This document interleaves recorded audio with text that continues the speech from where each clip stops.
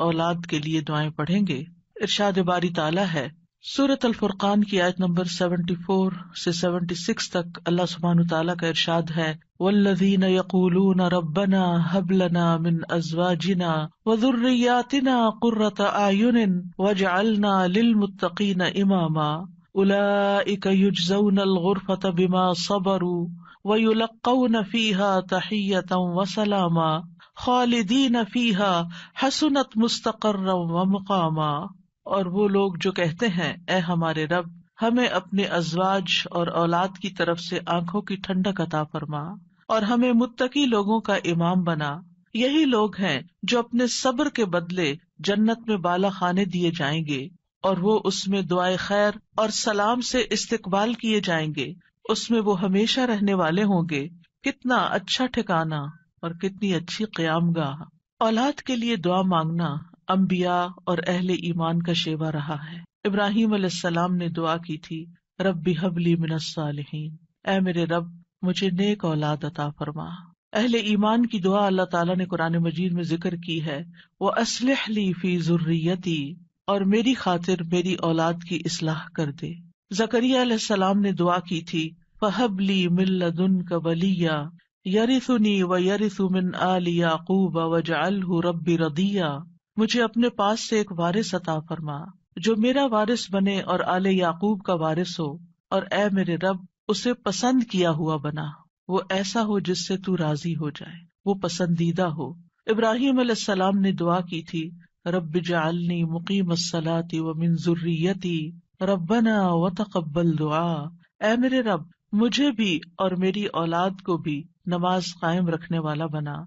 ए रब, मेरी ये दुआ कबूल फरमा। अहले ईमान हमेशा अपनी औलाद के लिए दुआ करते हैं। सूरत अल फुरकान की जो आयात मैंने आपके सामने पढ़ी है, ये इबाद रहमान से मुतलिक आयात हैं कि रहमान के खास बंदे, रहमान के पसंदीदा बंदे, अल्लाह ताला से दुआ करते हैं कि रब्बना हबलना मिन अजवाजिना वजुर्रियातिना कुर्रत आयुन। के अल्लाह हमें अपनी अजवाज से और अपनी औलाद से आँखों की ठंडक अता फरमा।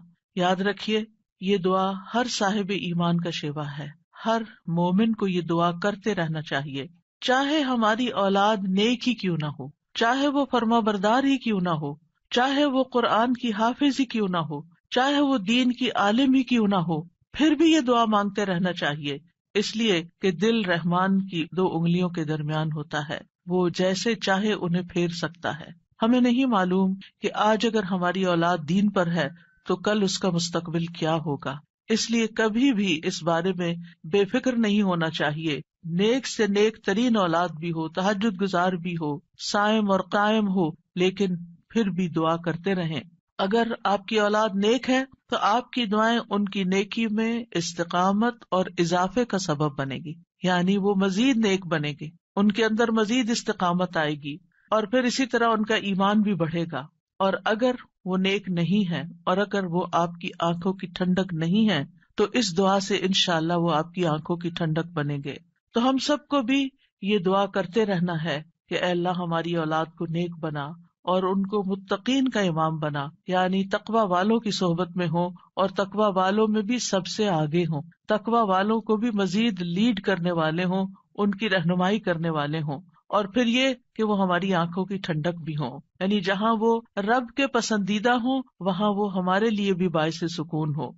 इसके साथ साथ इंसान के लिए लाजिम है कि वो अपनी औलाद की नेक तरबियत भी करता रहे, क्योंकि तरबियत की कोशिश करना जो है, एक सबर आजमा काम है।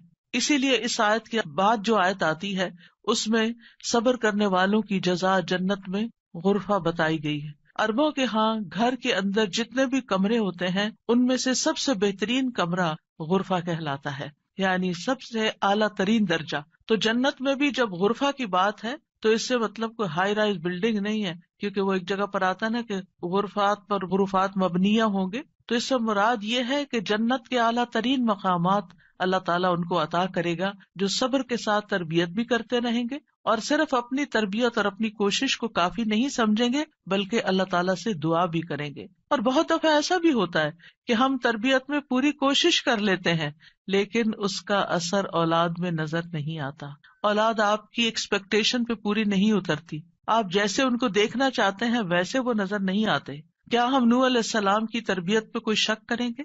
उनके चार बेटे थे, जिनमें से तीन बेहतरीन बेटे साबित हुए, लेकिन एक बेटा अपने ही रास्ते पर चल निकला।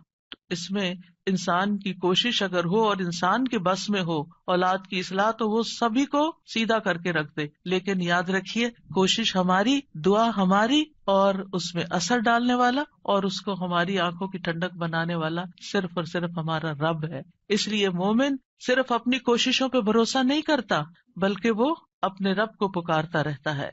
और फिर आमतौर पर यह होता है कि हम इस दुआ को अपनी दुआओं का हिस्सा नहीं बनाते। हाँ जब औलाद की तरफ़ से कोई तकलीफ़ पहुँचती है, जब वो हमारी कोई बात नहीं मानते या हमें नाराज़ करते हैं तो फिर हमें ख्याल आता है कि हमें दुआ करनी चाहिए कि इनकी इसलाह हो जाए और ये सीधे हो जाए और हमारी आँखों की ठंडक बन जाए। याद रखिए, ये सिर्फ़ औलाद के बिगाड़ के वक्त की दुआ नहीं है, बल्कि हमेशा ये दुआ करते रहना चाहिए। अपनी रोज़मर्रा ज़िंदगी की खास दुआओं में इस दुआ को शामिल कर लें।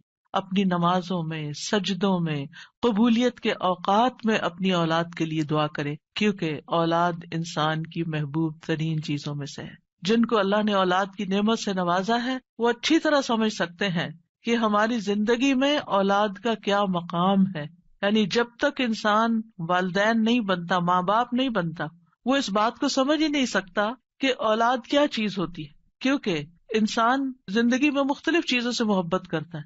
मुख्तलिफ़ चीज़ों के साथ इंसान का लगाव होता है। मुख्तलिफ़ काम या मुख्तलिफ़ चीज़ें उसको पसंद आती हैं। लेकिन जब एक औरत माँ बनती है, एक मर्द जो है वो बाप बनता है तो उसके बाद उसकी ज़िंदगी में जो तब्दीली आती है, उसके बाद उसकी ज़िंदगी के अंदर जो खूबसूरती आती है, उसके बाद उसकी ज़िंदगी का जो महवर और मरकज बन जाता है, और उसकी तमाम तवज्जो का मरकज जो चीज़ बन जाती है और दिन रात की ये ड्यूटी ट्वेंटी फोर सेवन की होती है। यानी बाकी चीज़ों से तो आप किसी वक्त अलग भी हो सकते हैं, मगर ये वो रिश्ता होता है कि जिससे आप फिर मरते दम तक अलग नहीं हो सकते, क्योंकि वो आपके जिस्म का एक हिस्सा होता है और अल्लाह ताला आपके दिल में हर चीज़ से ज़्यादा उनके लिए मोहब्बत डाल देता है और उनकी खुशी आपको खुश करती है और उनका दुख आपको दुखी करता है। इसलिए इंसान को हमेशा अपनी दुआओं में ये खास दुआ करते रहना चाहिए और कबूलियत के औकात में भी, क्योंकि औलाद से मिलने वाली आँखों की ठंडक उसी वक्त होती है जब औलाद सीधे रस्ते पर होती है। जब औलाद नेक होती है, अच्छे काम कर रही होती है तो फिर ही माँ बाप की आँखों की ठंडक होती है। और इस दुआ के दूसरे हिस्से में अपने लिए दुआ है कि अल्लाह हमें मुत्तकीन का इमाम बना। यानी औलाद जो है, हम उसके एक तरह से इमाम होते जैसे हदीस में आता है ना कुल्लु कुम राइन व कुल्लु कुम मसूल अन रईयती तो हर एक हम में से राई है, हर एक लीडर, हर एक जिम्मेदार है। तो अल्लाह ताला हमें माँ बाप की हैसियत में ऐसा रोल मॉडल बना कि हम मुत्तकी हों और हमारी औलाद भी मुत्तकी हो। यानी हमारी औलाद में भी नेकी हो और फिर हम नेकी के साथ आगे उनकी रहनुमाई करने वाले हों। और वैसे जनरल सेंस में देखें तो उसमें इंसान को एक हाईएस्ट मकाम हासिल करने की दुआ यहाँ सिखाई गई है। और वो क्या? कि इंसान, ऐसा इंसान हो कि जिसे देख कर लोग मुत्तकी बन जाए। यानी दूसरे लफ्जों में ये कि नेकियों में सबकत करने वाले हों, नेकियों में आगे बढ़ने वाले हों, ताकि दूसरे लोग भी हमें देखकर नेक बन जाएँ। मसलन, अगर एक मर्द अव्वल वक्त में मस्जिद में जाकर नमाज़ पढ़ता है तो उसके बच्चों पर उसका क्या इम्प्रेशन होगा? यानी अगर बाप जिम्मेदार है तो बच्चे भी देख कर कहेंगे कि हाँ हमें भी यही काम करना है। क्योंकि बच्चे इब्तदाई ज़िंदगी में खासतौर पर बाप को, माँ को बहुत फॉलो कर रहे होते हैं। फिर इसी तरह अगर आपका पड़ोसी आपको देखता है, आपके कुलीग्स आपको देखते हैं कि आपकी तवज्जो सबसे ज़्यादा किस चीज़ की तरफ़ है तो वो भी आपकी देखा देखी नेकी के काम में आगे बढ़ते हैं, आप सदका करते हैं। और कोई आपको देख रहा है, आपका मकसद नहीं दिखाना, लेकिन किसी को नज़र आ जाता है तो आपको देखकर वो भी शुरू कर देता है। तो आप उसके क्या बन गए? इमाम, यानी आप लीड कर रहे हैं, आप आगे हैं और वो आपको फॉलो कर रहे हैं। तो हमें ये दुआ करनी चाहिए अपने लिए कि अल्लाह हमें नेकी के कामों का इमाम बना, मुत्तकीन का इमाम बना। तो यहाँ हम देखते हैं कि ये इबाद रहमान की सिफात में से एक सिफत है और वो कहते हैं, वल्लदीन यकूलून रब्बना हब लना हब का लफ्ज जो है, ये हिबा से है। और हिबा कहते हैं, बिला मुआवजा कोई चीज़ देना। यार अब हमने कुछ किया नहीं, लेकिन तू अपने पास से हमें अता फरमा। अपनी खास रहमत से हमें ये अता फरमा। मिन अजवाजिना। अजवाज का लफ्ज जो है, ये जौज से है। जिन और हैवानात, इन सब में नर और मादा पाया जाता है, जो हर एक दूसरे का जौज कहलाता है।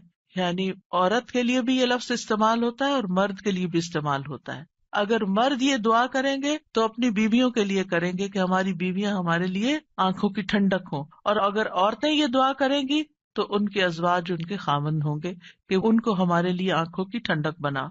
और जुर्रियात से मुराद, जुर्रियत जो है, सिर्फ़ औलाद नहीं होती, औलाद की औलाद भी जुर्रियत कहलाती है। क्योंकि आपने देखा होगा कि जब आप अपनी औलाद के लिए दुआ करते हैं और वो किसी काबिल होती, बड़ी होती, फिर उनके बच्चे पैदा होते हैं तो बाज अवत अपने बच्चों से ज़्यादा बच्चों के बच्चे प्यारे हो जाते हैं। और अगर वो नेक बनते हैं तो हमें आँखों की ठंडक नसीब होती है। और अगर बच्चों के, बच्चों में कोई बिगाड़ आ जाए तो आप इक्वली दुख और तकलीफ़ में मुबतला हो जाते हैं। तो इसलिए ये बहुत जामे दुआ है कि हम सिर्फ़ अपने लिए नहीं, अपने बच्चों के लिए नहीं, बल्कि अपनी नस्लों के लिए दुआ कर रहे होते हैं। तो रब्बना हबलना मिन अजवाजना व जुर्रियातना, और जुर्रियात में कुर्रत आयुन, आँखों की ठंडक। आपको मालूम है कि आँखें ठंडी भी होती हैं और गर्म भी होती हैं। आँखों से जब आँसू बहते हैं, खुशी के आँसू बहे तो आँखें ठंडी होती हैं। और अगर गम के आँसू हो तो आँखें गर्म हो जाती हैं।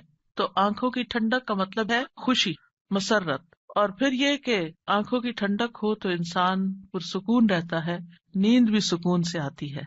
कि बच्चों की तरफ़ से अगर इंसान को बेफिक्री हो कि वो अच्छे काम कर रहे हैं, अच्छी जगह पर हैं सेफ़ हैंड्स में हैं तो इंसान के बहुत से गम, दुख, परेशानियाँ खत्म हो जाती हैं। वो बेफिक्र हो जाता है।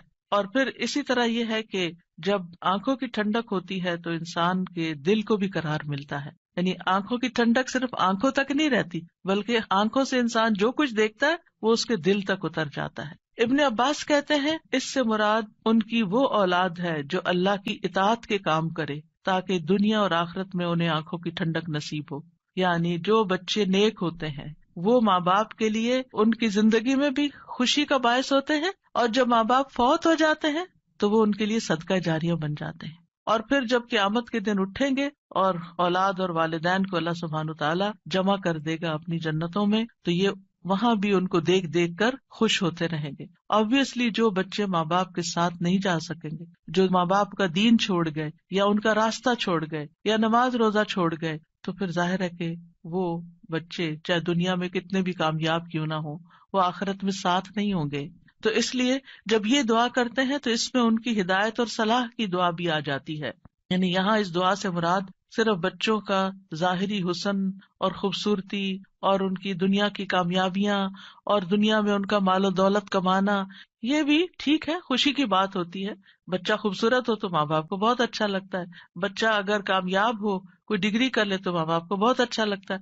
बच्चे को अच्छी जॉब मिल जाए तो माँ बाप बहुत खुश होते हैं। और जो माँ बाप सिर्फ़ दुनिया के लिए जीते हैं और जिनका मतलब और मकसद, एम और गोल सिर्फ़ दुनिया कमाना होता है, वो इन्हीं बातों पर खुश होते रहते हैं। लेकिन जो अहले ईमान होते हैं, उनकी खुशी सिर्फ़ इस चीज़ में नहीं होती। उनकी खुशी औलाद की नेकी में होती है कि हमारी औलाद नेक हो। तो जब हम ये कहते हैं कि हमें आँखों की ठंडक अता कर तो इससे मतलब ये होता है कि अल्लाह वो तेरे इतात गुजार हो फर्मा बरदार हों, खैर और भलाई के कामों में आगे जाने वाले हों, अल्लाह की इबादत अच्छे तरीके से करने वाले हों, गुनाहों और हराम कामों से बचने वाले हों।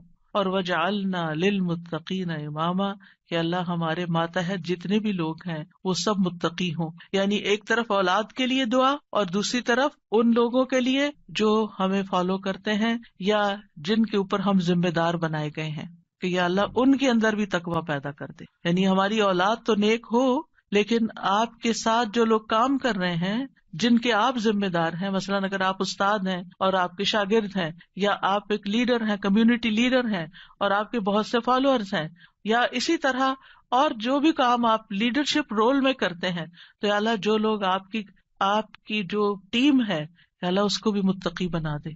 उसके अंदर भी अपनी मोहब्बत पैदा कर दे। कितनी खूबसूरत दुआ है। ज़ाहिर है कि इंसान उन्हीं लोगों के साथ होता है। या तो घर में होता है या बाहर काम पर होता है। जब घर में होता है तो क्या होता है? बीवी और बच्चों को देखकर इंसान अपनी आँखें ठंडी करता है। उसको एक पुरसकून माहौल मिलता है। और जब वो घर से बाहर होता है, अपनी जॉब पर होता है, अपनी टीम के साथ होता है तो उनकी नेकी, उनका अखलाक, उनका तकवा देख देख कर उसकी आँखें ठंडी होती रहती। सिंसियर, मुखलिस साथियों का मिल जाना ये अल्लाह ताला की बहुत बड़ी नेमत होती है।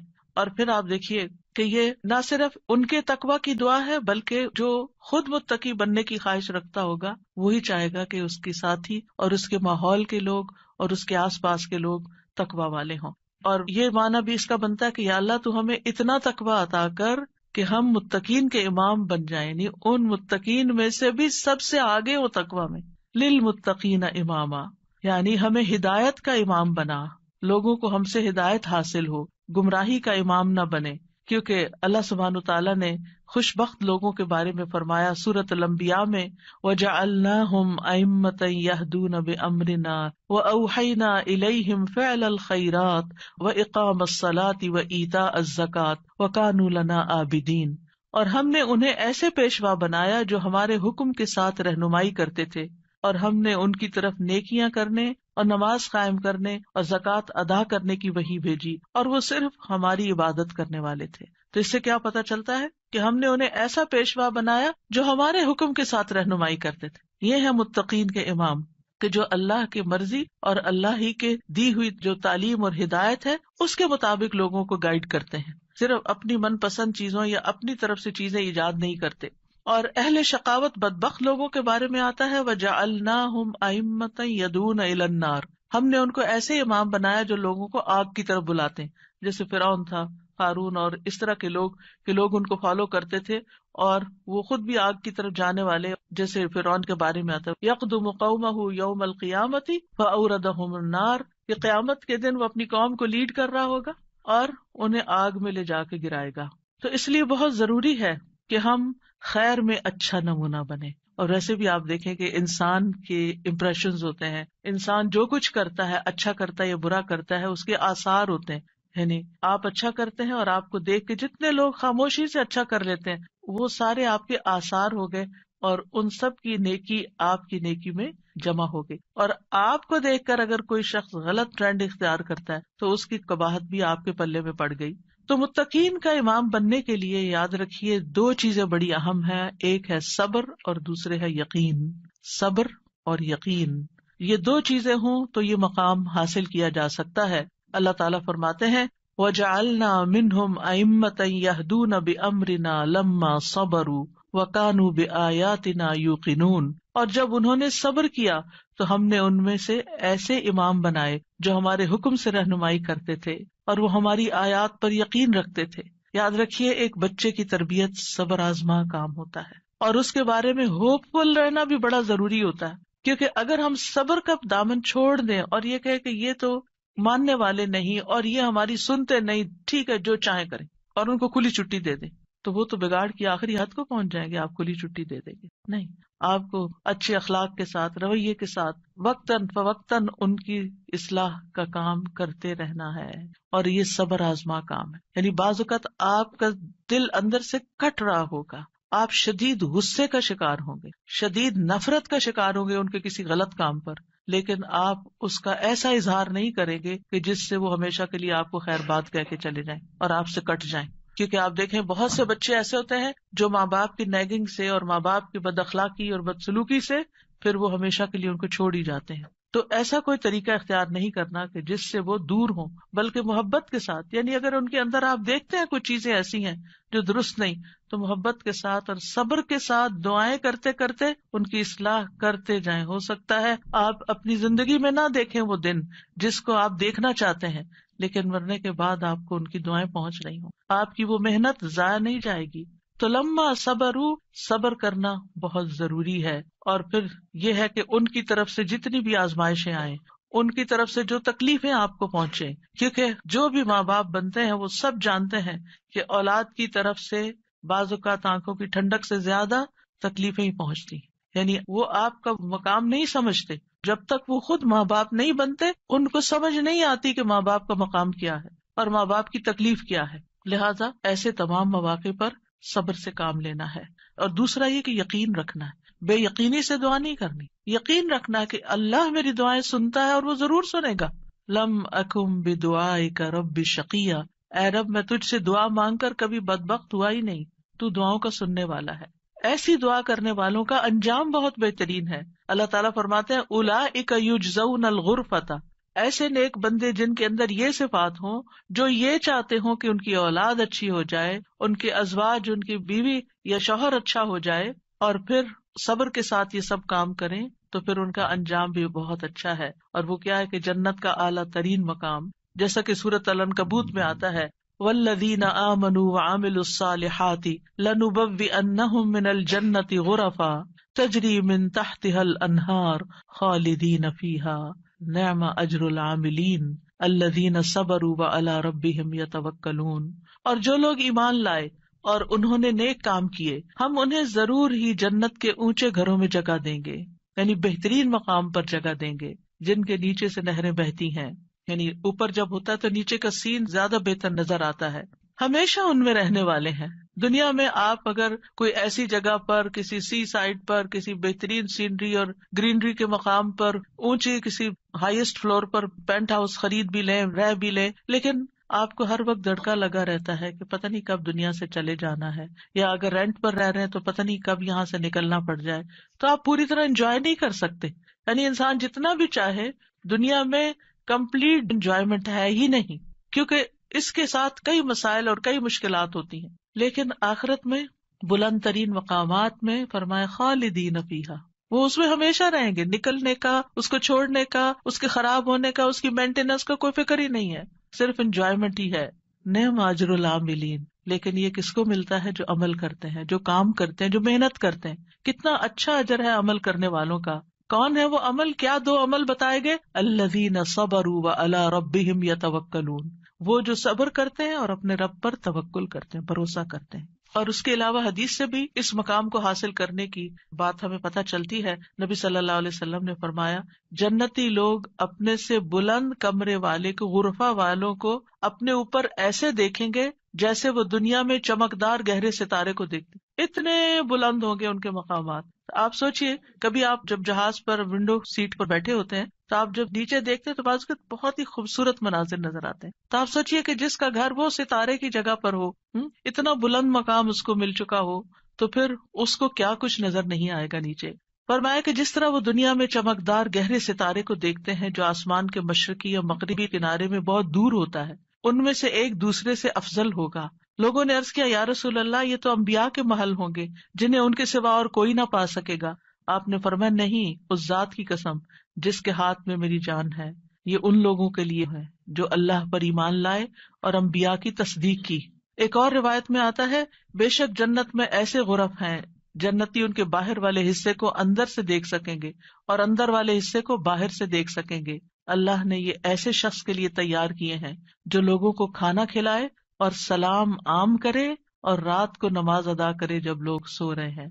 और अल्हम्दुलिल्लाह, रमज़ान ऐसा महीना होता है कि जिसमें आप ये तीनों काम कर सकते हैं। आपकी हिरस होती है कि ज़्यादा से ज़्यादा लोगों को इफ्तार कराया जाए, ज़्यादा से ज़्यादा लोगों तक राशन पहुँचाया जाए, यानी उनको खिलाया जाए और जब आप मस्जिद जाते हैं तो तरावी भी होती है और बहुत से लोग मिल जाते हैं तो सलाम पे सलाम हो रहा होता है या दीनी मजालिस का ज़ोर होता है रमज़ान में जिसमें लोग इकट्ठे होते हैं तो फिर एक दूसरे से मुलाकात करके सलाम के मौके आते हैं और ये सिर्फ़ रमज़ान ही के लिए नहीं है बल्कि सारा साल इंसान ऐसे कामों की रगबत रखे, ऐसे कामों से मोहब्बत करे। और उनकी जन्नत में वो क्या होगा? वयुलक्कू नफीहा तहियतम व सलामा। वहाँ उनको सलाम और दुआ दी जाएगी। तहिया कहते हैं ज़िंदगी की दुआ देना। यानी उनके इस्तकबाल के लिए ऐसे फरिश्ते मौजूद होंगे जो उन्हें सलाम भी करेंगे और सलामती की दुआएँ भी देंगे। जब कोई सलामती की दुआ आपको देता है तो कितना दिल खुश होता है। तो वहाँ फरिश्ते उनको दुआएँ दे रहे होंगे। और फिर आपस में जब मुलाकातें होंगी जन्नतियों की, तब भी सलाम दुआ हो रही होगी। और ये सलामती उनको किस लिए मिली? क्योंकि दुनिया में उन्होंने गुनाहों से सलामत ज़िंदगी बसर की। खालिदीन अफीहा हसनत मुस्तकर व मुकामा। हमेशा उसमें रहेंगे। कितना खूबसूरत ठिकाना, कितना अच्छा मकाम। याद रखिए, ये दुआ घरों की इसलाह की बुनियाद रखती है। इसमें सिर्फ़ औलाद ही नहीं, बल्कि अजवाज भी, यानी शौहर और बीवी। आज आप देखें कि हर दूसरे घर का ये मसला बना हुआ है कि घर में मियाँ बीवी की लड़ाइयाँ जारी हैं। इससे एक दूसरे के अंदर एक बेचैनी, उदासी, परेशानी, कामों में रुकावट, और कितनी बेशुमार खराबियाँ। और सबसे बड़ी बात यह कि आप अपनी औलाद के लिए एक बेहतरीन नमूना होते हैं। आप सिर्फ़ आपस में नहीं लड़ते, बल्कि अपने बच्चों को एक बुरा नमूना पेश करके उनकी जिंदगियों को भी जहन्नम बनाते हैं। और फिर आप देखिए कि कोई और इंसान नाराज़ हो जाए तो उससे इंसान को इतनी तकलीफ़ नहीं होती। हती कि अगर माँ बाप भी नाराज़ होते हैं ना तो इंसान इतनी परवाह नहीं करता। लेकिन अगर शौहर बीवी से या बीवी शौहर से नाराज़ हो तो इंसान के गम की इंतहा होती है। किसी चीज़ में दिल नहीं लगता, परेशानी छा जाती है और हर चीज़ बेमजा हो जाती है। चाहे खूबसूरत तरीन महल में आप रहते हो, खूबसूरत तरीन लिबास आप पहनते हो, बेहतरीन खाने आप खाते हो, लेकिन अगर मियाँ बीवी का आपस में प्यार नहीं है, आपस में इतफाक नहीं है, आपस में एक दूसरे से खुश नहीं है तो ज़िंदगी की कोई खुशी खुशी नहीं होती। तो इसलिए बहुत ज़रूरी है कि इस दुआ से काम लिया जाए। और जहाँ कहीं थोड़े बहुत भी प्रॉब्लम्स हैं, वो भी इंशाल्लाह हल हो जाएँगे। और जहाँ बड़े मसाइल हैं और जहाँ मसाइल नहीं भी, वहाँ भी ये दुआ पड़ी जाए, ताकि घरों के अंदर एक खूबसूरती आए। यानी अल्लाह ताला ने हमें मना तो नहीं किया कि दुनिया में हम मोहब्बत से ज़िंदगी ना गुजारें। यानी हमें दुनिया में भी मोहब्बत चाहिए आपस की। इत्तेफाक और प्यार चाहिए, एक मोहब्बत जो होती है वो इंसान की ज़रूरत होती है। एक दूसरे की केयर करना एक ज़रूरत होती है हर इंसान की। और अल्लाह सुबहान तला ने जोड़े बनाए क्यों है? कुरान मजीद में अल्लाह ताला फरमाते हैं, वमिन आयात ही अनखलकुम मिन अनफुसिकुम अजवाजन लितस्कुनु इलैहा वजअल बैनकुम मवद्दतम व रहमा। इन फ़ी ज़ालिका लआयात लिकौमी यतफक्करून। और उसकी निशानियों में से एक ये है कि उसने तुम्हारी ही जिन से तुम्हारे जोड़े पैदा किए या बीवियाँ पैदा की, ताकि तुम उनके पास सुकून हासिल करो और तुम्हारे दरमियान मोहब्बत और रहमत पैदा कर दी। गौर फ़िक्र करने वालों के लिए इसमें कई निशानियाँ हैं। तो अल्लाह सुबहान तला ने शादी का मकसद क्या रखा है? सुकून का हसूल। और अगर शादी के बाद इंसान का पहला सुकून भी जाता रहे और सुकून ही लुट जाए और तकलीफ़ और परेशानी ही परेशानी हर वक्त रहे तो उसने क्या पाया? तो शादी का मकसद ही बहुत हो गया। ठीक है, शादी के और भी कई मकासद हो सकते हैं, लेकिन सबसे बुनियादी और अव्वल मकसद अल्लाह ताला ने क्या रखा है इस रिश्ते के अंदर? एक दूसरे से सुकून, मवद्दत और रहमत। एक दूसरे से मोहब्बत भी करें और एक दूसरे पर रहम भी करें। एक दूसरे की केयर करें, एक दूसरे का ख्याल रखें, एक दूसरे की ज़रूरत को पहचाने सिर्फ़ खुद गर्जी ना हो कि मेरी मर्ज़ी, मेरा मकसद, मेरा मतलब और मैं जो चाहूँ सिर्फ़ वो हो मेरे पास। नहीं, ये भी देखना होगा कि दूसरा क्या चाहता है। और जिन कपल्स को ये समझ आ जाती है कि दूसरे की ख्वाहिश क्या है और वो दूसरे की ख्वाहिश को पूरा करने की कोशिश करते हैं तो लाजमन दूसरा भी फिर उनकी ख्वाहिश पूरी करता है और एक खुशगवार ज़िंदगी वजूद में आती है। इसी तरह अल्लाह ताला ने सूरत नहल में भी फरमाया, वल्लाहु जअलकुम मिन अनफुसिकुम अजवाजा।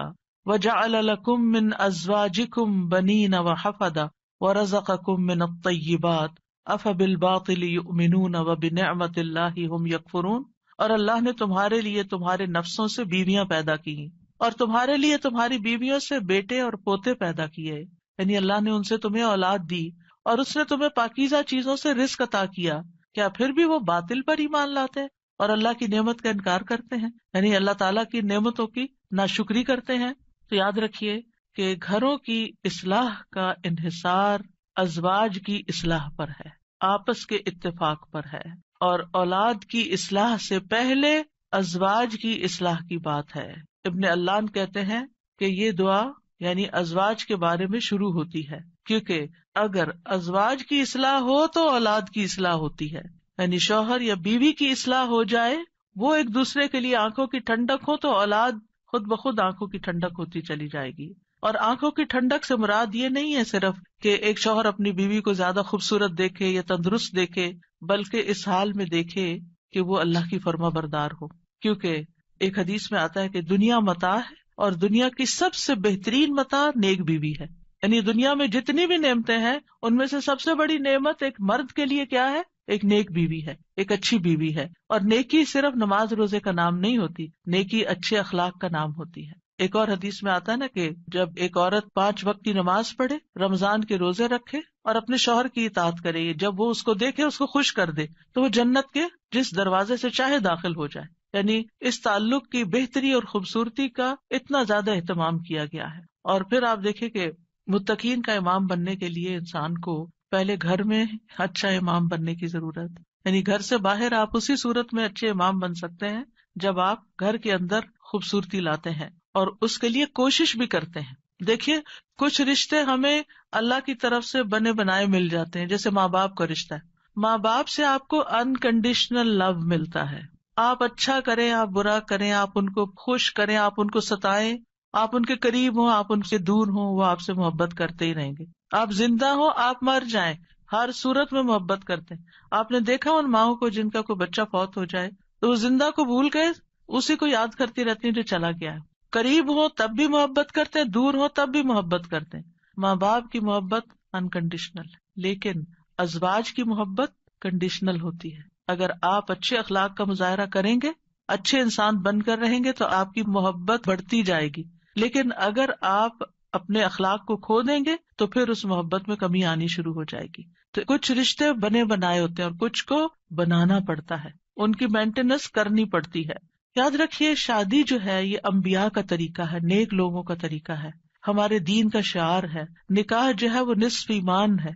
यानी हमारे दीन में क्रिश्चियनिटी की तरह ये नहीं है कि आप शादी नहीं करें, आप नन बन जाएँ, आप फकीर बन जाएँ और आप ज़्यादा नेक हैं। नहीं। आप शादी करके ज़्यादा नेकी कमा सकते हैं। यानी इस्लाम जो है वो फितरी जरूरियात को मद्देनजर रखता है। अल्लाह ताला फरमाते हैं, यकीनन आपसे पहले भी हमने कई रसूलों को भेजा और हमने उनके लिए बीवियाँ और औलाद बनाई। यानी पैगंबर भी बीवियों वाले और औलादों वाले थे। नबी सल्लल्लाहु अलैहि वसल्लम ने फरमाया, निकाह मेरी सुन्नत है, बस जो मेरी सुन्नत पर अमल नहीं करता वो मुझसे नहीं। तुम लोग शादी किया करो। यानी शादी करना भी एक नेकी का काम है, इबादत है। क्योंकि मैं तुम्हारी तादाद की बिना पर सबका उम्मतों से कसरत तादाद में मुकाबला करूँगा। एक और रिवायत से पता चलता है कि शादी न करने वाला नबी सल्लल्लाहु अलैहि वसल्लम के तरीके से मुँह मोड़ने वाला है। आपको याद होगा कि वो तीन सहाबा जो नबी सल्लल्लाहु अलैहि वसल्लम की एब्सेंस में हज़रत आयशा के पास पूछने गए थे कि आपके अमाल क्या है तो जब उन्होंने बताया तो उनका वो तो अल्लाह के नबी हैं तो इसलिए एक ने कहा, मैं कभी गोश्त नहीं खाऊँगा, दूसरे ने कहा, मैं कभी रात को नहीं सोऊँगा। तीसरे ने कहा, मैं कभी शादी नहीं करूँगा। तो नबी सल्लल्लाहु अलैहि वसल्लम को जब ये बातें पता चली तो आपने अल्लाह ताला की हमदो सना की और फरमाया, इन लोगों को क्या हो गया है जिन्होंने ऐसी और ऐसी बातें कही हैं? मैं रात में नवाफिल भी पढ़ता हूँ, सोता भी हूँ, नफली रोजा रखता हूँ और छोड़ भी देता हूँ। निकाह भी करता हूँ, बस जो शख्स मेरे तरीके से मुँह मोड़ेगा वो मुझसे नहीं। यानी वो मेरी उम्मत में से नहीं है, जो मेरे इस तरीके को पसंद न करे।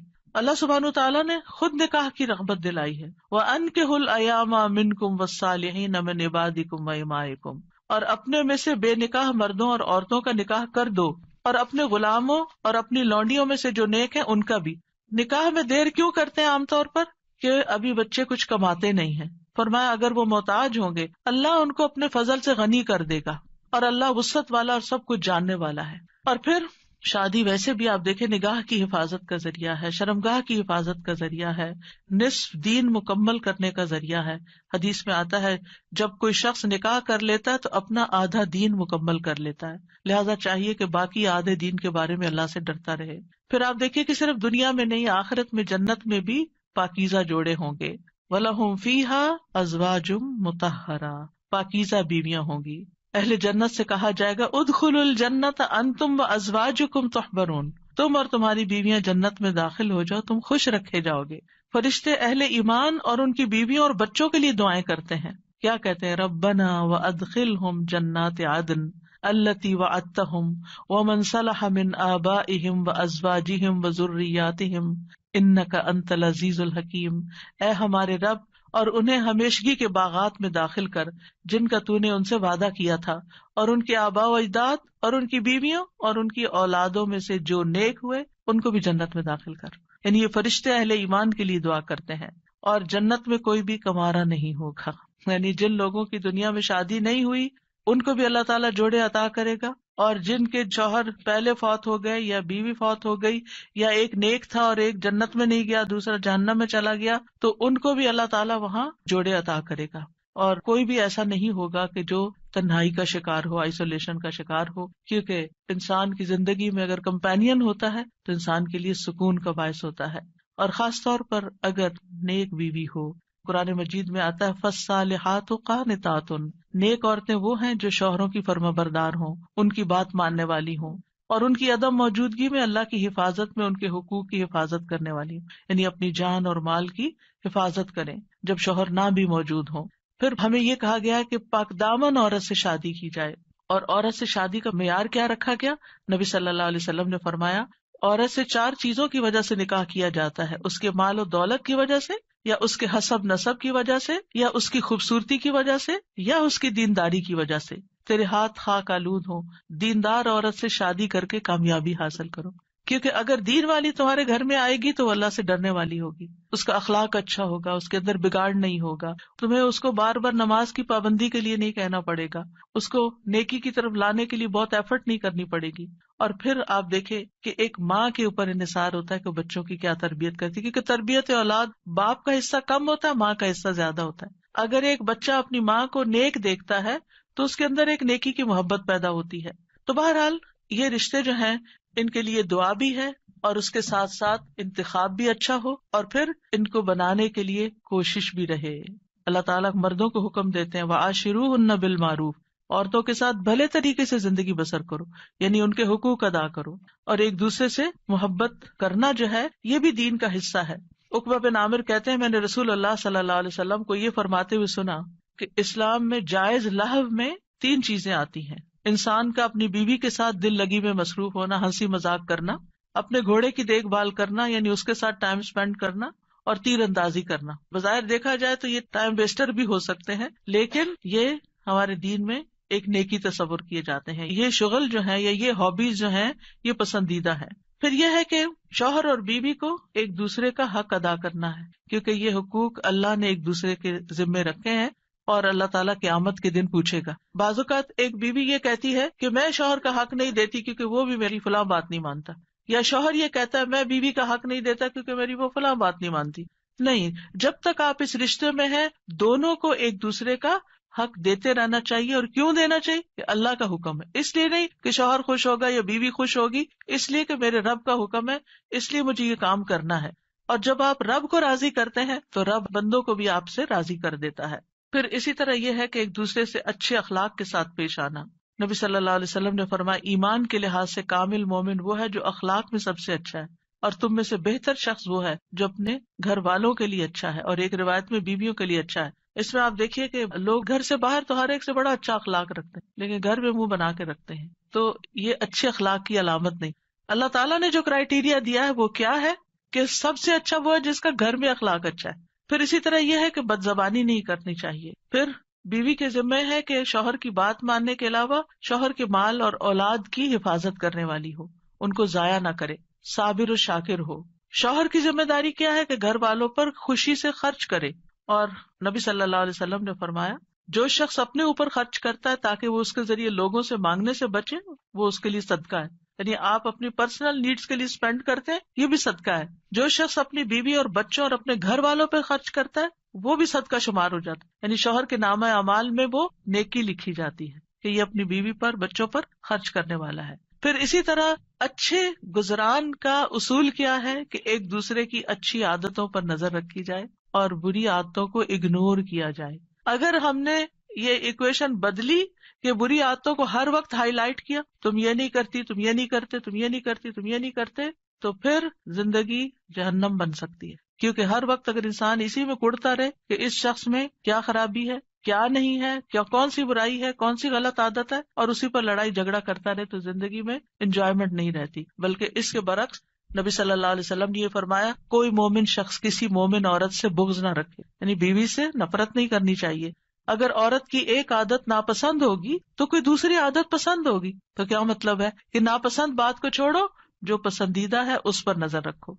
फिर इसी तरह यह है कि नेक औलाद के लिए भी कोशिश के अलावा और दुआएँ भी हमें सिखाई गई हैं। जैसे, उनकी पैदाइश से पहले ही दुआ करना, रब्बी हबली मिनसालहीन ऐ मेरे रब, मुझे नेक औलाद अता कर।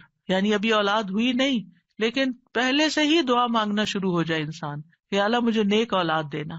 और फिर ये कि शादी के वक्त ऐसी औरत का इंतखाब करना जिसके अंदर बच्चे पैदा करने की सलाहियत हो। क्योंकि नबी सल्लल्लाहु अलैहि वसल्लम ने इस बात का हुक्म दिया कि मोहब्बत करने वाली और ज़्यादा बच्चे पैदा करने वाली औरत से शादी करो। यानी ये हमारे दीन में पसंदीदा चीज़ है। फिर इसी तरह शादी से मिलने वाली जो नेक औलाद है, उसका फ़ायदा क्या है? कि वो मरने के बाद वालदेन के लिए दुआएँ करती है और माँ बाप के लिए सदका जारिया बन जाती है और ये वालदेन की दर्जात की बुलंदी का ज़रिया बनता है।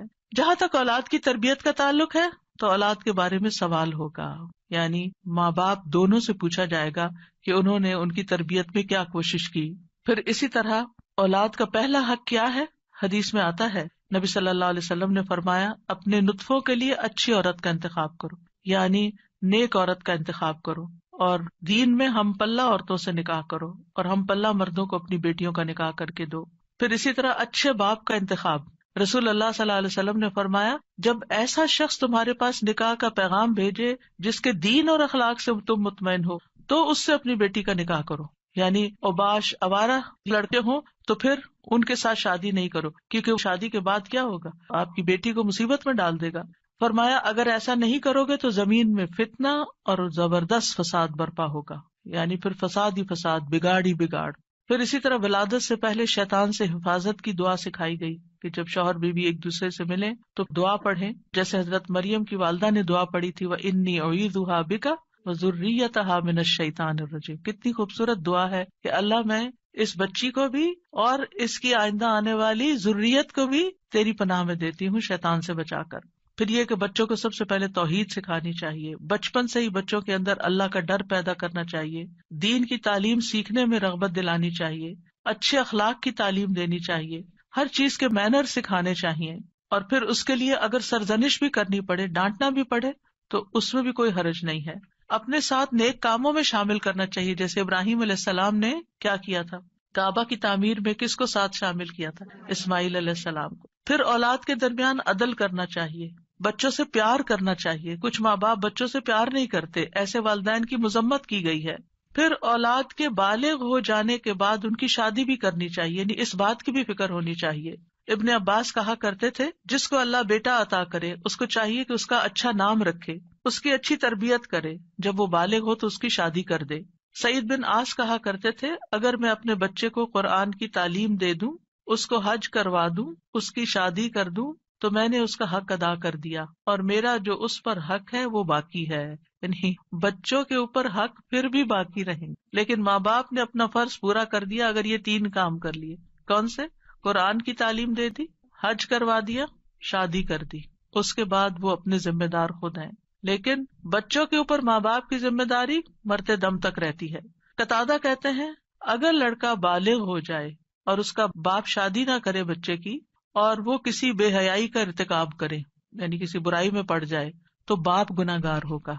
यानी वो लड़का तो होगा ही, या लड़की तो होगी ही, लेकिन माँ बाप भी गुनागार होंगे। तो इसलिए शादी के मामले में इंसान कोशिश ज़रूर करे, रिश्ता नहीं मिलता या कोई असबाब नहीं बन रहे तो वो अलग बात है। लेकिन माँ बाप को इस बात की फ़िक्र होनी चाहिए, क्योंकि देखा गया कि वक्त के साथ साथ ये फ़िक्र खत्म हो गई है। और बाज माँ बाप ने तो ये चीज़ औलाद पर ही छोड़ दी है।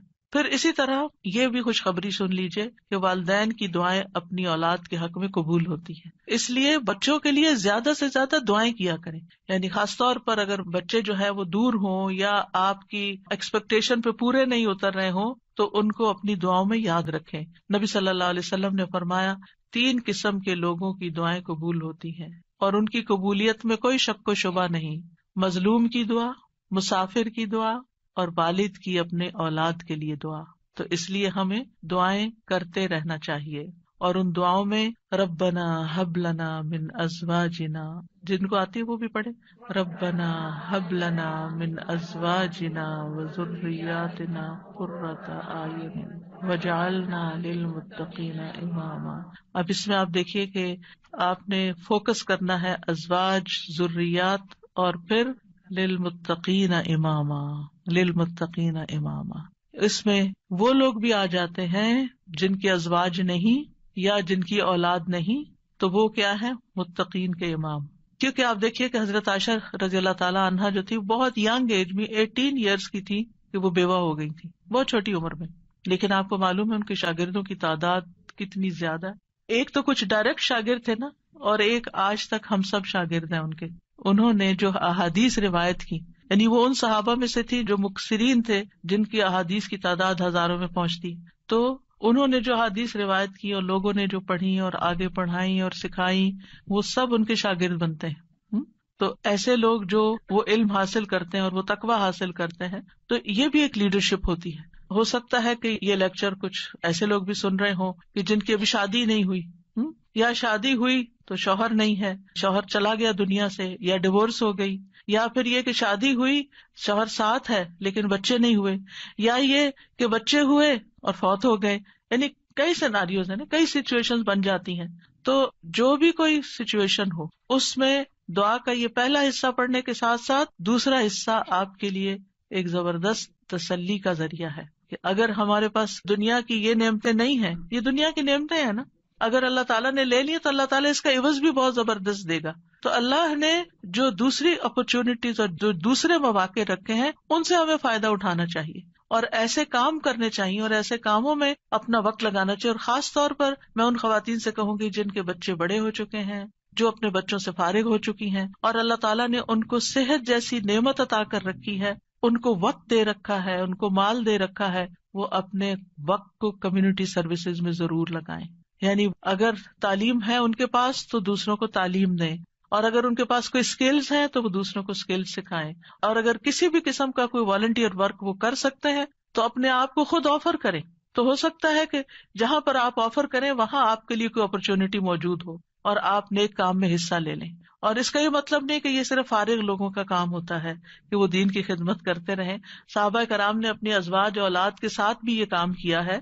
याद रखिए, जिस तरह हम अपनी दुनिया को बनाने के लिए, अपनी औलाद को संवारने के लिए हम कोशिश करते हैं, इसी तरह हमें दूसरों की औलाद और दूसरे लोगों की भी फ़िक्र होनी चाहिए। उनके लिए भी खैर खाई करनी चाहिए। और मैंने अपनी ज़िंदगी में एक्सपीरियंस किया है कि मैंने शायद अपने बच्चों से ज़्यादा दूसरों की फ़िक्र की है और अल्लाह ताला ने वो खैर वापस लौटा दी।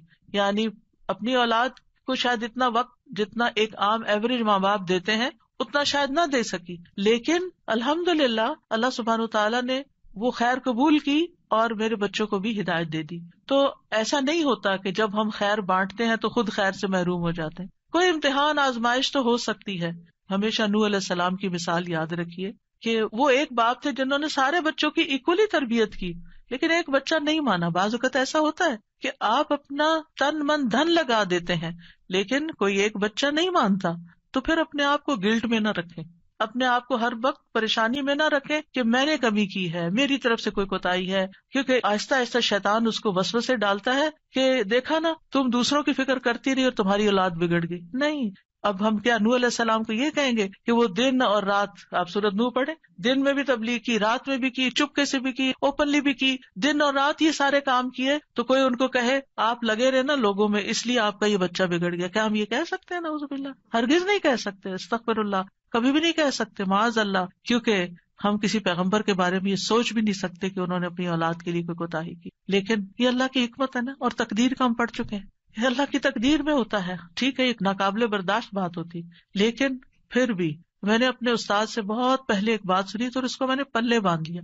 उन्होंने कहा था, तफसीर की क्लास में तफसीर पढ़ाते थे हमें मास्टर्स में। उन्होंने कहा कि अगर आप चाहते हैं ना आपका बच्चा खाए, क्योंकि माए बड़ी परेशान रहती है, बच्चा खाता नहीं है। हुँ? आप दूसरों के बच्चों को खिलाएँ। आपका बच्चा दूध नहीं पीता, आप बच्चों में दूध बांटे। आपका बच्चा सीखता नहीं, तालीम नहीं आ सकता आप औरों बच्चों को पढ़ाएँ। जो खैर आप दूसरों को देंगे, वो खैर आप पर वापस आएगी। इन अहसन तुम अहसन तुम लियान फुसिकुम ये नहीं हो सकता कि आप दूसरों के लिए भला करें और अल्लाह ताला आपको छोड़ दे। इन तनसुरकुम व युसबित अकदामकुम। दीन की मदद करना अल्लाह की मदद हासिल करने का ज़रिया है। और साबित कदमी का, दीन पर साबित कदमी का। क्योंकि आप देखिए, अगर आप पावर हाउस से अपने घर की बिजली का कनेक्शन काट देते हैं तो क्या होता है? आपका घर अंधेरे में चला जाता है। कुरान से, कुरान वालों से, कुरान की मजालिस से अगर आप अपने आप को ये कह के पीछे कर लेते हैं कि मैं अपने बच्चों की तरबियत कर रही हूँ तो ये एक धोखा होगा। क्योंकि ऐसे बच्चों की तरबियत नहीं होती। अगर आपका दिल खाली है और आपके अंदर ईमान भरा हुआ नहीं है, अगर आपके अंदर यकीन नहीं है, अगर आप एक अच्छे रोल मॉडल नहीं है, और ये सारी चीज़ें आपको कुरान से जुड़े रहने से मिलती हैं कुरान वालों से जुड़े रहने से मिलती हैं तो फिर आप अपने बच्चे की तरबियत खाली खुली कहाँ से करेंगे? आप 24 घंटे भी अपने बच्चे पे एनक लगा के रखे ना, कि मैं इस पे तवज्जो कर रही हूँ, हिदायत फिर भी अल्लाह ने देनी। लेकिन जब आप अल्लाह का काम करेंगे तो इनशाला अल्लाह ताला आपके बच्चों को ज़रूर हिदायत दे, वो आपको तनहा नहीं छोड़ेगा। और अगर फिर भी उनको हिदायत नहीं मिलती तो मालूम नहीं अल्लाह की क्या हिकमत है, जो हमें नहीं पता। हमें नहीं पता, हो सकता है किसी एक बच्चे की तकलीफ़ हमारे अल्लाह के साथ जुड़े रहने का ज़रिया बन जाए। बाजू का ऐसा होता है ना कि सारी नेमतें मिली होती, सारे बच्चे बहुत आउटस्टैंडिंग होते हैं, एक बच्चा पढ़ के ही नहीं देता। मेरी अपनी एक रिश्तेदार है, माशाल्लाह, छह बच्चे उनके पाँच डॉक्टर हैं, एक नहीं बनी। तो अब अल्लाह की मर्ज़ी ना, बाप भी डॉक्टर, सारा घराना डॉक्टर्स का, लेकिन जो नहीं बनी, अब वो सारा वक्त अपने आप को कोसे। शायद मैंने इसकी तरबियत में कोई कमी की, शायद मैंने इसको सही से नहीं पढ़ाया नहीं भाई, उसकी नहीं थी दिलचस्पी। हर कोई डॉक्टर नहीं बनना चाहता। हर कोई दीन का आलिम नहीं बनना चाहता। हर कोई वो काम नहीं करना चाहता जो आप उसके लिए सजेस्ट कर रहे हैं। उसकी अपनी एक सोच है, उसकी अपनी एक राय है। तो इसमें बच्चों को मार्जिन भी दे, उसमें थोड़ी सी आज़ादी भी दे और उनके लिए खूब दुआएँ करें। क्योंकि जब हमारी ज़िंदगी में कोई मुश्किल आ जाती है ना, कोई आजमाइश आ जाती है तो फिर क्या होता है? हम अल्लाह से और करीब हो जाते हैं। बाजुकत पता क्या होता है? हम नमाज़ के साथ चंद नवाफिल पढ़ लेना एक्स्ट्रा और शायद नफली रोज़े रख लेना और हज के साथ उम्र भी कर लें, फिर हम अपने आप को क्या समझने लगते हैं? हम बहुत नेक हो गए हमने बहुत अच्छे अच्छे काम कर लिए हाँ? लेकिन होता क्या है कि अभी कमी होती है कहीं, और हमें पता नहीं होता, इतने में अल्लाह की तरफ़ से कोई आजमाइश आ जाती है। फिर जो हमारी दुआओं में रोना होता है, और फिर जो हमारी दुआओं में इखलास होता है, और फिर जो हमारी दुआओं में इसरार होता है, और तकरार होता है, और हमारा तड़पना होता है, वो इससे पहले नमाज़, रोजा, हज, जक़ात किसी चीज़ में नहीं था। हम आजमाइश के साथ जितने अल्लाह की तरफ़ जाते हैं नियमतों के साथ उतने नहीं जाते। ये मानी हुई बात है, हम सबका तजुर्बा है। तो इसलिए बहुत ज़रूरी है कि हम कोशिश करें और उसके साथ साथ अल्लाह से दुआ करते रहे वजालना लिल मुत्तकीना इमामा। अल्लाह हमें मुत्तकी साथी दे, मुत्तकी दोस्त दे, मुत्तकी उठने बैठने वाले दे। ऐसे लोगों में उठे, बैठे, मिले, जुले और उनकी रहनुमाई करें कि जो तकवा वाले हों ताकि हमारे तकवा में भी इजाफा होता चला जाए। क्योंकि इंसान अपने माहौल की पैदावार होता है। जिस तरह के दोस्तों में, जिस तरह के लोगों में वो रहता है, वैसी ही सोच उसकी बनना शुरू हो जाती है। और फिर इब्राहिम सलाम की दुआ भी कि रब्बी हबली मिनसालहीन अल्लाह अपने पास से ही साले बच्चा दे दे, मैं तो नेक बनाने से रहा। और ये इब्राहिम सलाम मांग रहे हम्म? और अल्लाह सुबहान तला ने फिर उनको कैसी नेक औलाद अता की? इस्माईल सलाम कितने फर्मा बरदार थे। इसहाक सलाम कितने गुलाम अलीम थे। इल्म वाले और उनकी नस्ल में भी इल्म आया। और फिर आप देखिए कि इब्राहिम सलाम ने यहाँ सिर्फ़ ये नहीं कहा कि रब्बी हबली मिनसालहीन बल्कि उससे पहले एक बात कही थी वो क्या थी? सूरज साफात में, वकाल इन्नी राहिबुनिला रब्बी सयाहदीन. मैं अपने रब की तरफ़ जा रहा हूँ। मैं रब का बन रहा हूँ। वो मुझे हिदायत देगा। फिर मांगा, अल्लाह मुझे नेक औलाद भी दे। हम क्या करते हैं? हम खुद तो नेक बनते नहीं। इन्नी जाहिबुनिला रब्बी करते नहीं। ना नेकी की तरफ़ जाते हैं, ना नेक काम करते हैं, ना दीन का काम करते हैं, और फिर हम कहते हैं, अल्लाह मुझे नेक औलाद दे। मेरी औलाद को नेक बना दो। ये कैसे होगा? पहले आप खुद तो बने। पहले आप खुद तो वो काम करें कि जो आपको करके दिखाने हैं बच्चे को कि ऐसे नेक काम करते हैं। और फिर आप देखें कि इबन जरीर तबरी कहते हैं कि इब्राहिम सलाम की दुआ ये थी कि अल्लाह मुझे अपनी तरफ़ से ऐसा बेटा अता कर जो नेक लोगों में से हो। ऐसे लोग जो तेरी इतात करते हैं, तेरी नाफरमानी नहीं करते, ज़मीन में इसलाह के काम करते हैं और ज़मीन में फसाद बर्पा नहीं करते। यानी मुझे ऐसी औलाद चाहिए। इससे ये बात भी पता चलती है कि इंसान खा कितना ही कदर मंजिलत वाला हो खलील ही क्यों ना हो? फिर भी वो अल्लाह का मोहताज है। फिर भी वो अल्लाह ताला से दुआएँ करे कि रब्बी हबली मिनसालहीन और इसलाह की अपनी एक अहमियत है। यानी सिर्फ़ औलाद नहीं मांगी, बल्कि नेक औलाद मांगी। क्योंकि सिर्फ़ औलाद आपके लिए मुसीबत का सबब हो सकती है और नेक औलाद आपके लिए आँखों की ठंडक का सबब होगी। और फिर ये कि इब्राहिम की दुआओं में वमिन जुर्रियत ना उम्मत मुस्लिमत सुबहान अल्लाह इतनी बड़ी दुआ मांग ली? यानी सिर्फ़ नेक औलाद नहीं बल्कि हमारी जुर्रियात यानी औलाद की औलाद औलाद की औलाद औलाद की औलाद इसमें एक उम्मत मुस्लिमा पैदा कर दे?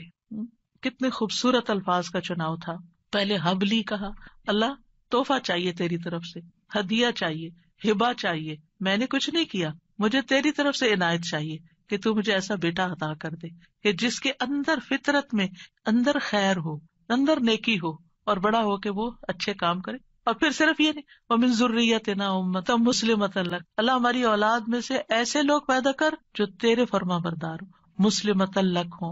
और फिर आप देखिए कि किस तरह अल्लाह सुबहान तला ने इब्राहिम सलाम को नवाजा। सुबहान अल्लाह अबुल अम्बिया है अम्बिया के बाप हैं। और फिर आप देखिए कि जितने भी इल्हामी मजाहब हैं क्रिश्चियनिटी है, या जूडिज्म है इस्लाम है, इन सब के वही लीडर हैं। अल्लाह ताला ने कहा था ना इन कलिन्ना से इमामा। या इब्राहिम, मैं तुम्हें लोगों का इमाम बनाने वाला हूँ और किस तरह फिर अल्लाह ताला ने उनको इमाम बनाया? फिर इसी तरह, अगर औलाद ना होती हो तो फिर ये दुआ करते हैं रब बिला तजरनी फरदन व अंत खैरुल वारिसीन। ऐ मेरे रब, तू मुझे अकेला ना छोड़। तू ही सब वारिसों में से बेहतर वारिस है। ये जकरिया सलाम की दुआ थी कि रब बिला तजरनी फरदन व अंत खैरुल वारिसीन। तो अल्लाह ने दुआ कबूल कर ली फस्तजब ना लहू व वहब ना लहू याहिया। हिबा है यहाँ भी। और हमने उसको याहिया अता किया। वो असलाह ना लहू जऊजा और उसकी बीवी की इसलाह कर दी। क्यों?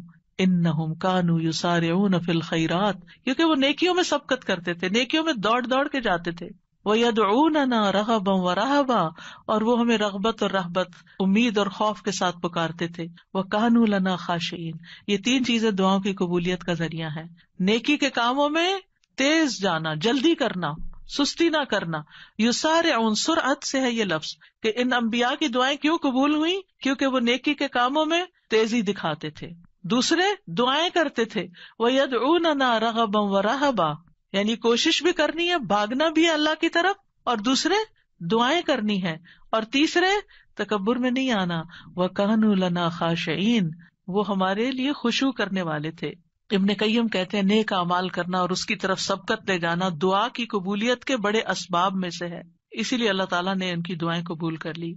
फिर एक और दुआ है, जो हज़रत जकरिया ने ही मांगी रबी हबली मिल्लदुन का जुर्रियतम इन का समी दुआ ए मेरे रब, मुझे अपनी तरफ़ से नेक और पाकिजा औलाद अता फरमा। बेशक तू ही दुआएँ सुनने वाला है। यानी हिबा वो होता है ना, जो बगैर मुआवजे के खुश दिली और एहसान के तौर पर किसी को कोई चीज़ दे दी जाए। यानी एक हिबा होता है कि हदिया होता है, एक सदका होता है। तो सदका वो होता है जिससे आखिरत का अजर सवाब चाहिए। और हदिया वो होता है जिससे तोहफा देने वाले और जिसको तोहफा दिया गया उसके दरमियान मोहब्बत पैदा करना मकसूद होता है। यानी हदिया मोहब्बत के लिए होता है और हिबा जो है वो किसी मकसद के लिए होता है। हिबा वो चीज़ होती है कि जिसको हिबा की जाती है, सिर्फ़ उसका फ़ायदा मतलूब होता है, ठीक है? मतलब ये था कि अल्लाह मुझे अपने पास से ऐसा हदिया दे जो बगैर किसी बस के मेरी बगैर किसी कोशिश और मेहनत के हो तो बस तू आप अता कर दे। मिल दुन का अपने पास से दे दे, क्योंकि तेरे पास तो सब कुछ है। और फिर जरूरियतन तय्यबा दे, जो अपने अकवाल और अफाल में पाक हो, जिस्मों में पाक हो। इन का समी दुआ। आप तो दुआएँ सुनने वाले ये मोहब्बत और रहमत को खींच लाने वाली बात है। तो दुआ करना जो है अम्बिया की सुन्नत है। और फिर अल्लाह की जगह या अल्लाह कहने की बजाय रब भी कहा गया है। रब को वसीला बनाकर दुआ की गई है। इसीलिए आप देखें अम्बिया की सारी दुआएँ रब्बना से शुरू होती हैं या रब्बी से शुरू होती हैं। और फिर सिर्फ़ औलाद नहीं, नेक औलाद। और फिर औलाद को नेक बनाने के असबाब भी। और फिर ये यकीन के दुआ तकदीर को बदल देती है। हज़रत जकरिया इंतहाई बूढ़े थे, लेकिन उन्होंने यकीन से दुआ की। और फिर इब्राहिम सलाम की दुआ रब जालनी मुकीम सलाती व मिनजुर्रियती रब्बना व तकब्बल दुआ। ऐ मेरे रब, मुझे भी और मेरी औलाद को भी नमाज़ कायम रखने वाला बना। ऐ मेरे रब, मेरी ये दुआ कबूल फरमा। रब्बना फिरली वली वालिदैया वलिलमुमिनीन यौम यकूमुल हिसाब। ऐ हमारे रब, मुझे और मेरे वालिदैन और तमाम मोमिनों को उस दिन माफ़ फरमा दे जब हिसाब लिया जाएगा। अन अशकुर नअमतकल्लती अनअमत अलैया व अला वालिदैया व अन आमल सालिहन तरदाहु व अस्लिह ली फ़ी जुर्रियती। ये भी औलाद के लिए दुआ है कि अल्लाह मेरी जुर्रियत की इसलाह कर दे, मेरी जुर्रियत को नेक बना दे। इन्नी तुब तो इलाइक मैं तेरी तरफ़ वापस पलटता हूँ, तौबा करता हूँ। इन्नी मिनल मुस्लिमीन, और बिलाशुबा मैं फर्मा बरदार हूँ। और रब्बना वज अलना मुस्लिम लका व मिन जुर्रियतना उम्मतम मुस्लिमत लक व अरिना मनासिकना व तुब अलैना इन्नका अंत रहीम। ए हमारे रब, हम दोनों को यानी इब्राहिम और इस्माइल सलाम ने मांगी थी दुआ, अपना फर्मा बरदार बना ले और हमारी औलाद में से एक जमात पैदा कर जो तेरी फर्मा बरदार हो और हमें अपनी इबादत के तरीके बतला। और हमारी तौबा कबूल फरमा, बेशक तू बड़ा तौबा कबूल करने वाला, नहायत रहम करने वाला है। और फिर आप देखिए कि किस तरह अल्लाह सुबहान तला ने वो दुआ कबूल की और मोहम्मद सल्लल्लाहु अलैहि उनकी औलाद में पैदा हुए और फिर उनसे उम्मत मुस्लिमा पैदा हुई। तो ये दुआ जो है, उसकी कबूलियत में बहुत अरसा लगा था, लेकिन कबूल हुई। तो इसलिए इंसान को मायूस नहीं होना चाहिए। और इसी तरह ये दुआ, जो मसनून दुआ है अल्लाह मिन जार मिन जौजिन तुशय्यिबनी कबल मशीब। व मिम वलद यकून अलैया रिबन, या रब्बन, व मिम माल यकून अलैया अदाबन व मिन खलील माकिरिन आइनहु तरानी, व कल्बहु यरआनी इर्रा हसनतन दफनहा, व इजार आ सैयतन अजाहा अल्लाह, मैं तेरी पनाह तलब करता हूँ बुरे पड़ोसी से।